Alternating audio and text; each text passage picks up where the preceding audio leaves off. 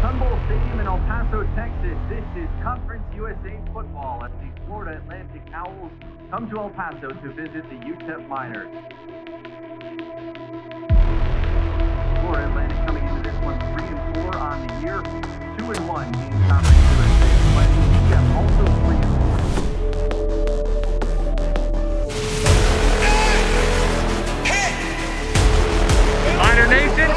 let's ride. And I'm what might be a design quarterback keeper. The sack fumble, Jadrian Taylor coming off the edge, applying the pressure and blowing up the play.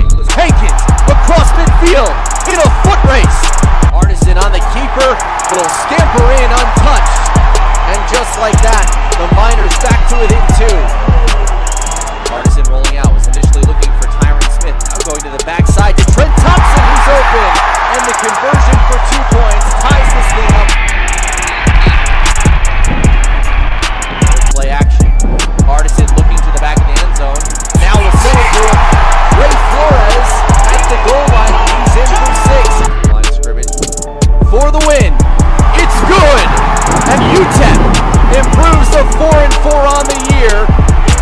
Takes this one over FAU 24-21. It is a walk-off win for Gavin Baechle and the Miners.